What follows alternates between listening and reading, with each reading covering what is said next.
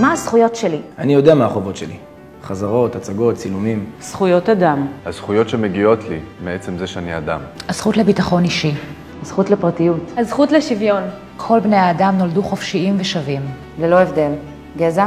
דת או לאום. אז שלא ישפטו אותי ויתייגו אותי בגלל צבע העור שלי. ושנשים יקבלו שכר שווה לגברים.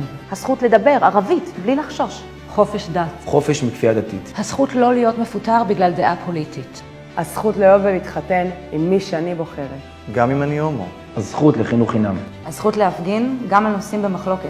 גם אם את בדעת מיעוט. הזכות לשירותי בריאות. חופש ביטוי אמנותי, בלי צנזורה. הזכויות שלנו.